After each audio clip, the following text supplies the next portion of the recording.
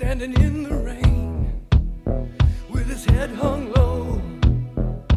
Couldn't get a ticket, it was a sold out show.